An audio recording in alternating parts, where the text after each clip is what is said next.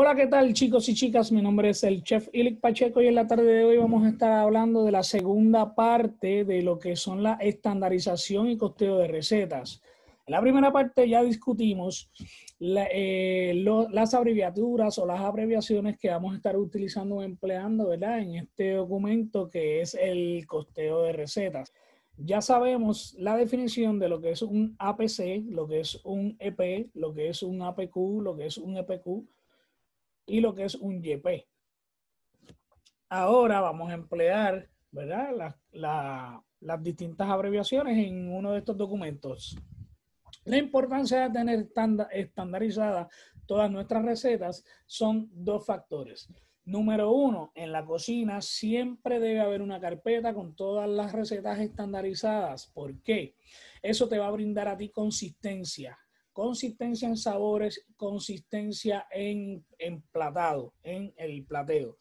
Eh, tanto la cocina en el turno de por la tarde como la cocina en el turno de por la noche o simplemente si te renuncia al cocinero y tienes que traer a otro, es importante que el plato al comenzar le sepa exactamente igual que la primera vez que lo probó.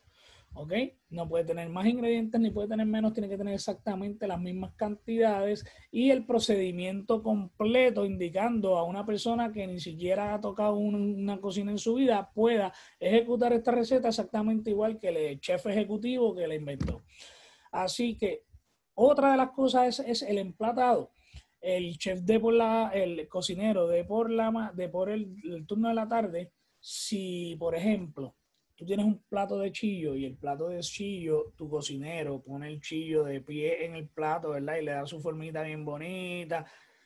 Y eh, eh, sale de esa manera el plateo en la mañana, en la tarde, en la noche, el cocinero de por la noche tiene que hacerlo exactamente igual. O si tienes unos cocineros un día y unos cocineros otro día, todos son part-timer, pues tiene que tener consistencia en plateo. Todos tienen que emplatar de la misma manera. Por eso en el documento de la receta estandarizada, en la parte de atrás, vamos a añadir una foto de cómo queremos que luzca esta receta que vamos a estar preparando. Ah, y la otra parte es la parte de que con eso se hace el costeo de la receta, ¿verdad? Tener los ingredientes y luego pasar a un documento que es el de costeo de recetas. Administrativamente vas a tener un control de los precios, de las ganancias y de lo que son tus costos. ¿Está bien? Vamos a pasar entonces a compartir por aquí la pantalla.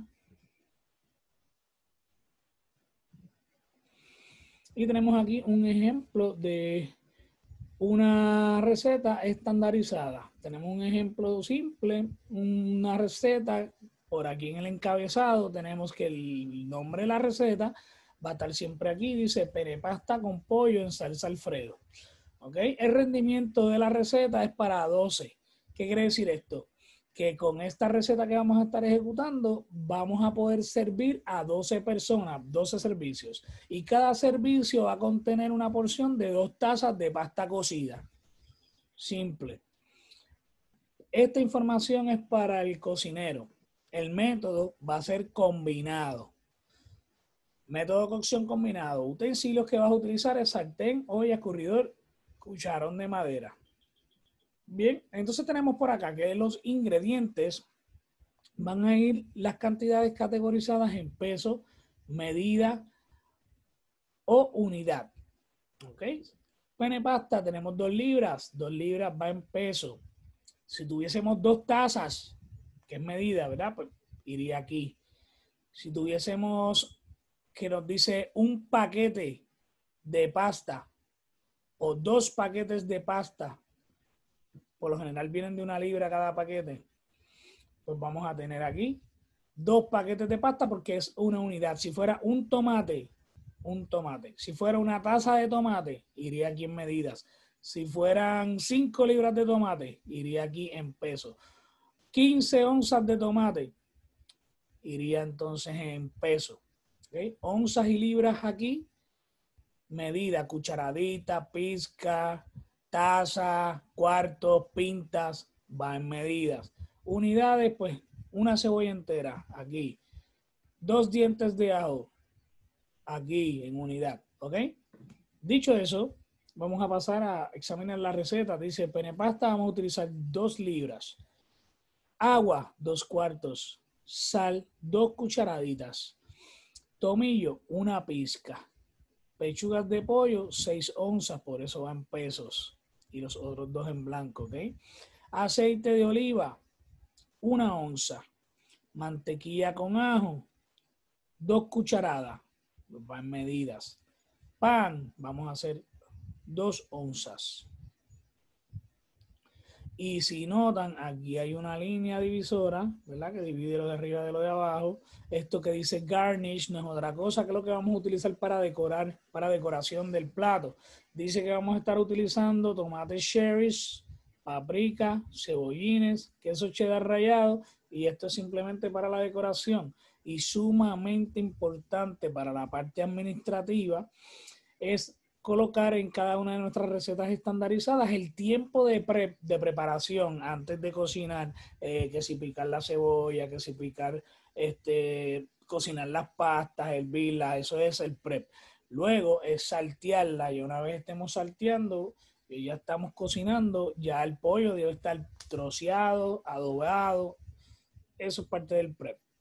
Tiempo de cocción, ya cuando estamos salteando todo y dice que en total vamos a tener 35 minutos. Ese es el tiempo que va a requerir que su empleado esté trabajando o ejecutando esta receta. Es decir, si tú tienes un empleado que va a trabajar ese día cuatro horas part-time, pues ya sabes que de esas cuatro horas, 35 minutos nada más va a estar haciendo, eh, va a estar haciendo esta receta. Y esto también se lleva números, se calcula para que tú sepas al final del día cuál es el costo exacto, incluyendo las horas hombre. ¿Qué significa horas hombre? Eh, pues la labor, ¿verdad? La mano de obra. ¿Cuánto tiempo tienes que pagarle a un empleado para ejecutar eso? Claro está que el, un cocinero eh, con experiencia te va a poder realizar mm, hasta tres recetas a la misma vez. ¿Ok? Eh, o sea que esos 30 minutos pues se dividen eh, y ahí sacamos el costo hombre que tiene esta receta para incluirlo en el precio también o en los gastos operacionales. Ahora bien, tenemos aquí que el procedimiento tiene que ser explicado por pasos simples, pero con todos los detalles como si fuera una persona que está empezando a cocinar el día de hoy. ¿Por qué? Porque cuando usted da adiestramiento, esta es la receta que usted le va a ofrecer al cocinero nuevo para que ejecute exactamente igual, para que tenga consistencia, ¿ok? Eso es parte del adiestramiento. Vamos ahora a la segunda parte que viene siendo la parte del costeo. Ok, estamos aquí en el costeo de la receta. Tenemos el encabezado receta que es la pasta pene con pollo que tenemos en la página anterior. El rendimiento es el mismo para 12 personas, las porciones son las dos tazas, métodos y utensilios. Esto aquí no es tan importante como en el anterior, pero el anterior pasa a la cocina. Este es administrativo. Aquí tiene el número de receta, usted pone el número de la receta en el cual la posición está ubicada esa receta en su recetario. Si es la 3 del curso principal, pues usted divide en aperitivos, eh, curso principal y postre, pues la número 3 o la número 5 de cursos principales, ahí es el número de receta, la número 5, o si es la 18 o la 20, usted pone ese número aquí. Ahora bien, aquí donde dice ingredientes, vamos aquí, el por ciento de la pérdida. En esta receta, yo escogí una receta que no tiene pérdida, que va a utilizarse el 100% del producto, pero igual si tuviese algún tipo de pérdida, aunque lo ubiquemos aquí, vamos a transferir el costo exactamente igual porque yo no voy a pagar esa pérdida. Vamos a incluirla en el precio del plato. ¿De qué pérdida me refiero? Que digamos que en la receta hay una lechuga, pues la lechuga pierde un porcentaje, un porcentaje perdón, eh, cuando sacamos los pedazos eh, que no sirven cuando quitamos la raíz y lo que nos queda es el edible portion, ¿verdad? Aquí está la pérdida o la merma y vamos a escoger una receta. Yo escogí una receta para explicarle a ustedes que no tiene pérdida, que va todo as is. Va como es a la receta, ¿ok? Aquí no tenemos que hacer nada acá porque mire, la receta me dice que yo necesito dos libras de pasta, ¿verdad? Pene pasta, necesito dos libras. En el supermercado yo compro las dos libras, vienen en saquito, vienen en libra, ¿verdad? Cada saquito es una libra, por dos paquetes son dos libras. Y me cuestan los dos paquetes 1,98. No tengo que hacer ninguna fórmula aquí porque pasa tal cual a los costos de los ingredientes, ¿ok? Usé dos libras, compré dos libras. Perfecto, ahí no hay mucho que hacer. Agua que sacamos del grifo, agua que sacamos de la pluma, ¿verdad? Para cocinar usamos dos cuartos y sacamos dos cuartos y la autoridad de, acueducto alcantarillado, yo puse un, aproximadamente, un aproximado de dos de un dólar 98 centavos por esa agua que consumimos. Va tal cual, no pierde nada, no se cambia nada. Así 1.98 lo pasamos. Perfecto. Ahora es que se complica un poquito el asunto, pero no es tan complicado, ya verá. Mi receta lleva una onza de sal. Yo compro en el supermercado 10 onzas a 89 centavos las 10 onzas.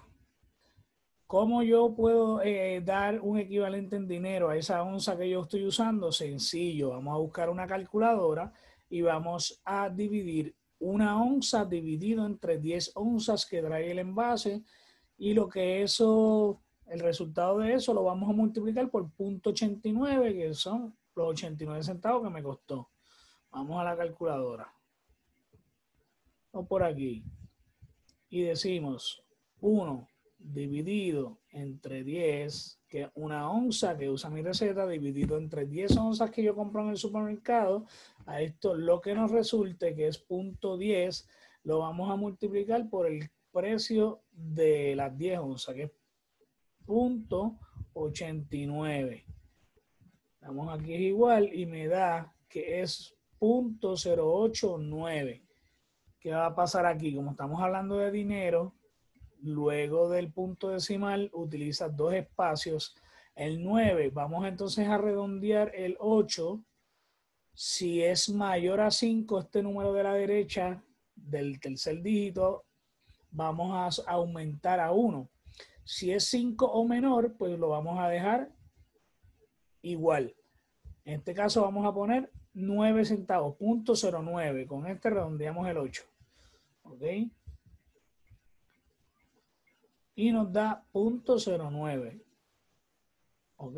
Vamos a una pizca de tomillo. La pizca de tomillo, yo siempre le doy el equivalente a 0.50 centavos. Todas las pizcas de especias, excepto a la de especias muy costosas como lo es el azafrán, a todas yo le otorgo 0.50 excepto al azafrán. ¿Ok? Si es una pizca de sal, 0.50. Si es una pizca de rosemary, punto 50. Si es una pizca de tomillo, punto 50. Una pizca de paprika, punto 50. Siempre el equivalente que le doy a las pizcas es de 50 centavos. Pues nada que hacer aquí. Dejamos en blanco eh, y le dimos 50 centavos acá. Pechugas de pollo. Vamos a utilizar 4.5 libras. Recuerden que estamos cocinando una receta que es para 12 personas. Vamos a usar 4.5 libras. La bolsa de pechuga yo la compro en 10 libras. Importante aquí hacer la salvedad. Cuando usted esté costeando una receta, siempre hágalo en el precio regular de los productos en el supermercado. ¿Por qué? Porque hoy las pechugas están en Econo, en el supermercado, a 14.99, en especial la bolsa de 10 cuando el precio regular es 24.99. Esto es lo más costoso que usted las va a encontrar. Pues con ese precio es que usted va a ejecutar el costeo de la receta. ¿Por qué?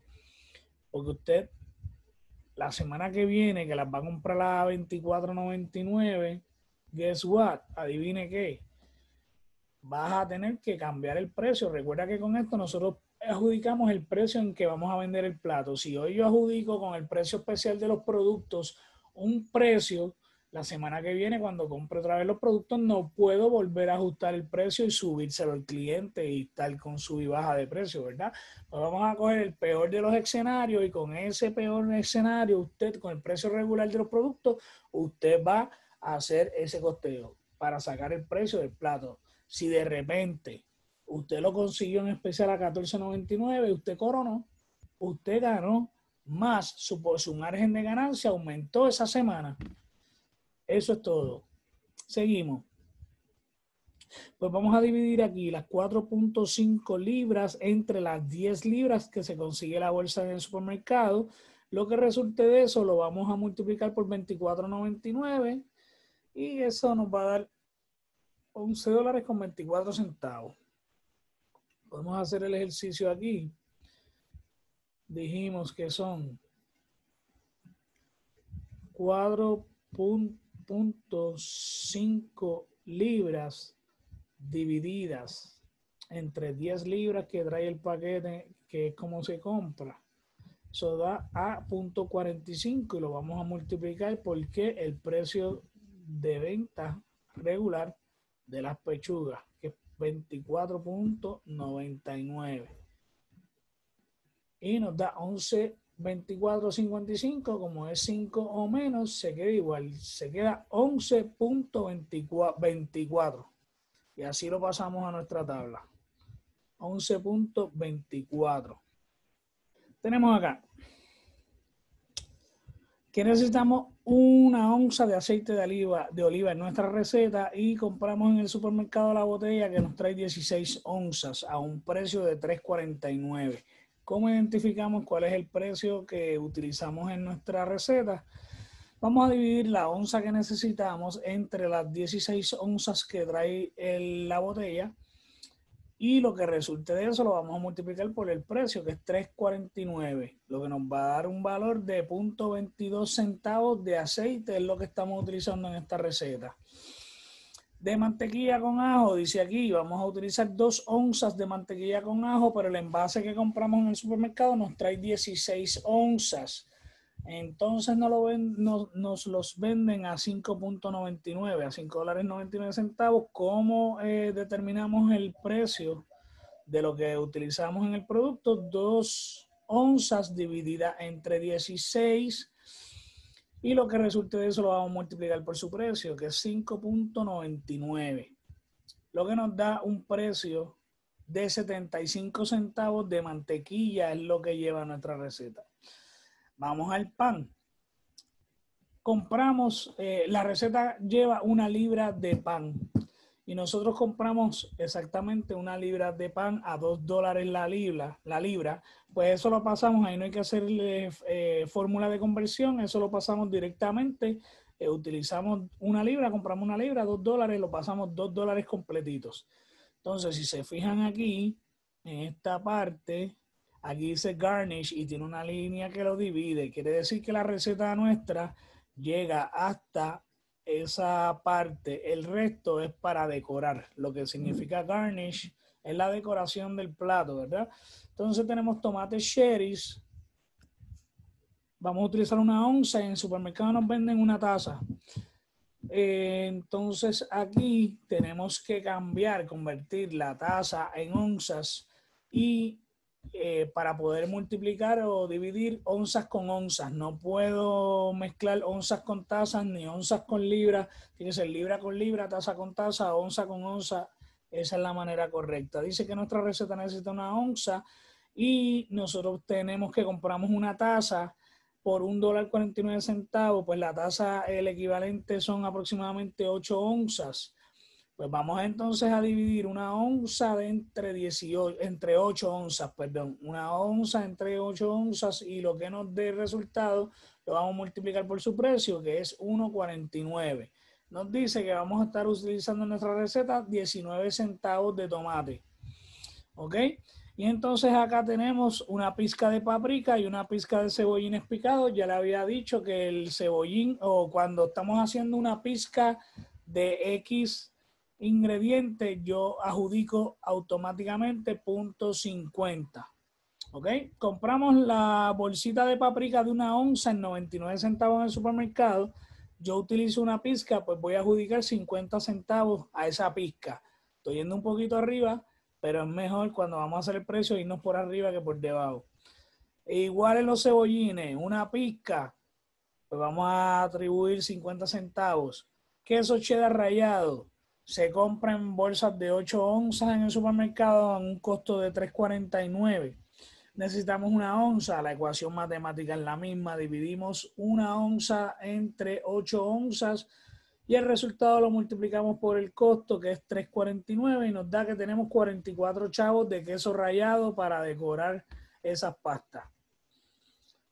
Ahora bien, sumamos la última columna completa de la derecha y nos va a dar un resultado de 20 dólares con 39 centavos. Nos cuesta esta receta que de la cual salen 12 porciones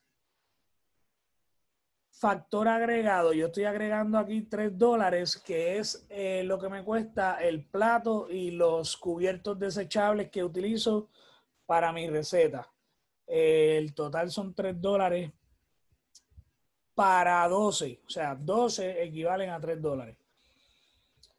Adjudicamos y sumamos a los 20.39 esos 3 dólares de los envases y tenemos un costo total de la receta que hacemos, sumamos 20 con 39 y los 3 dólares y nos da 23 con 39. Ese es el total, el costo total de la receta.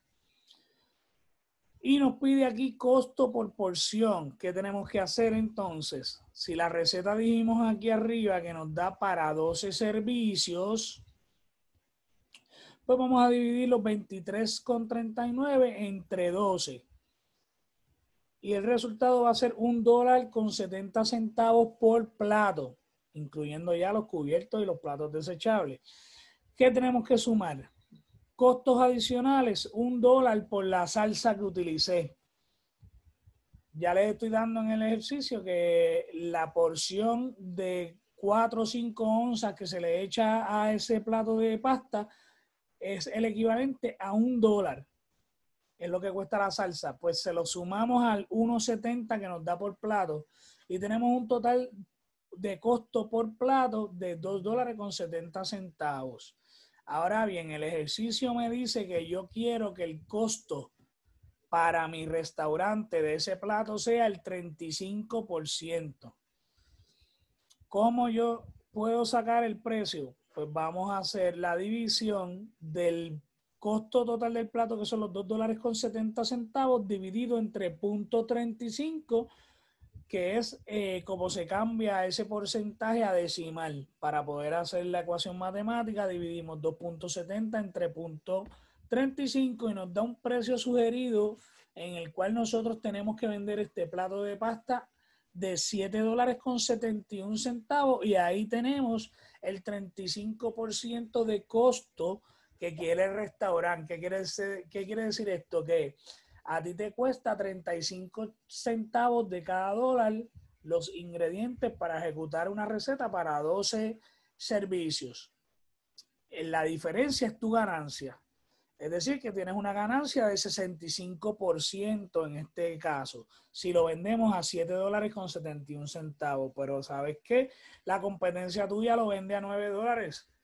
Pues tú entonces puedes llevarlo a 9 dólares o puedes venderlo a 8 dólares para competir este, y poder agarrar más clientes y de todas maneras estás ganando. Así que adjudicamos un precio donde dice aquí precio de venta adjudicado. Vamos a decir que la ecuación matemática nos dice que nos sugiere que lo vendamos a 7.71, nosotros lo vamos a aumentar a 8 dólares. Y ahora, ¿cómo sacamos el por ciento de costo real? Ah, pues cogemos el costo del plato, que es 2.70 y lo dividimos entre el precio que vamos a adjudicar, que es 8 dólares, y nos va a dar un porcentaje de 34%. Es decir, que el costo en vez de 35 lo reducimos a 34%. ¿Ok? Y mientras más bajito sea su costo, más alta va a ser su ganancia. Y de esto es que se trata, mis amigos. Así que espero les haya gustado y que hayan entendido. De la manera más fácil eh, este ejercicio matemático que, mire, hay muchos restaurantes que quiebran y cierran por no conocer estas fórmulas y son sencillas. Así que con esto los dejo. Gracias por ver el video. Hasta pronto.